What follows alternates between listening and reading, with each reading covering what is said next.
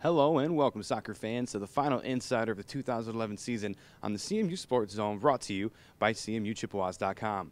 I'm your host, Greg Palawski, and this week when I caught up with head coach Neil Stafford, I wanted to talk to him about the successes of the Chippewas this season. But first, I asked him how he felt after his first year of head coaching for the Chippewas. A lot of different emotions. Uh, you know, obviously bittersweet is one. I mean, we're disappointed. Uh, we didn't accomplish our goals that we set forth uh, and that's ultimately making it to the NCAA tournament.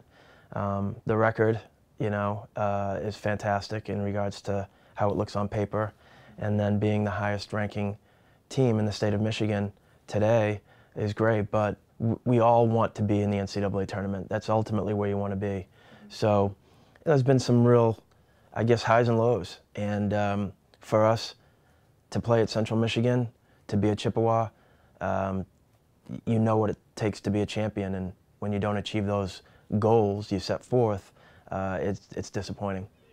CMU only allowed seven goals during the regular season, and in doing so, set a new MAC record for the fewest goals allowed, crushing Miami's previous record of 12.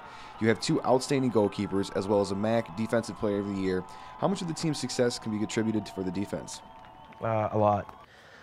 The defense has really been the backbone of this program um, since I've arrived. And I think, you know, I mentioned this earlier in the beginning of the year, we rely sometimes too heavily on certain parts of the field. And, you know, with the quality we have defensively and the technical ability we have defensively, we overloaded their plate, so to speak, at times, and that ultimately bit us in the butt. And, um, you know, I know that, you know, we had a few offensive players that we were missing this year, but, you know, those are good opportunities for people to step forward and, and, and produce. And, take hold of their opportunities that they're given. Along with it being the seventh straight year that CMU has had the highest GPA in the NSCAA, the Chippewas also had six Capital One academic all district selections in the 2011 season, which is the most in program history. How do you believe the success in the classroom has helped benefit the team over the past several years? Well, I mean, I think, you know, we talk about being students of the game, and we say that for a reason because we feel like we do have the best students here.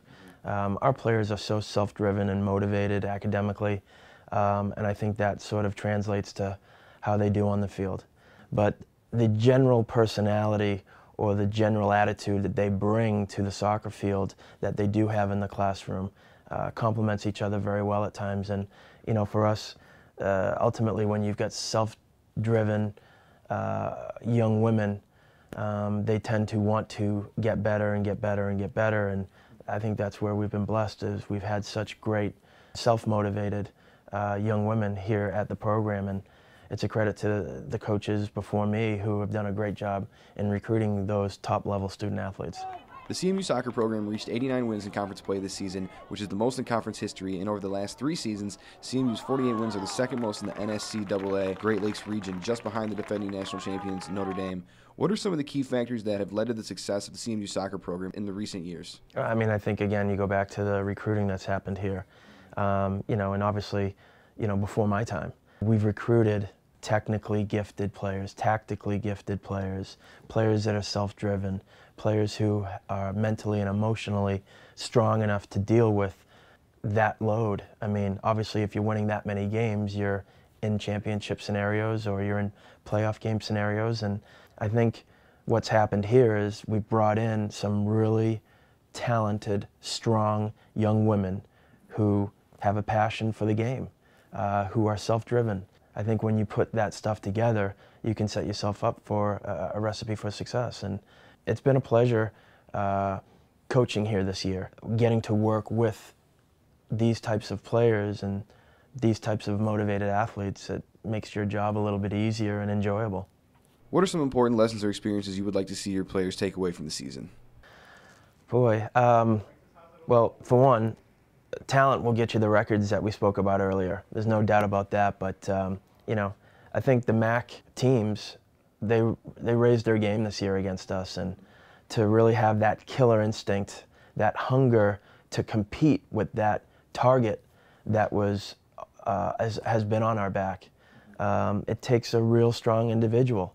The players know now, especially after playing in the game and seeing the game on video, uh, I, I know that they're taking away the right things. All right, Coach, do you have any last words for your seniors or possibly recruits or upcoming players?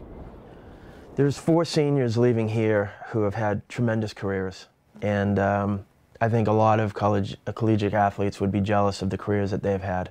Um, they were great representatives, ambassadors to the program, academically and athletically, and you know, uh, Beth, Chelsea, Claire, and Liesel. I mean, we're going to miss them a lot. Uh, they're great people, um, and uh, they've served as tremendous role models for the rest of the team.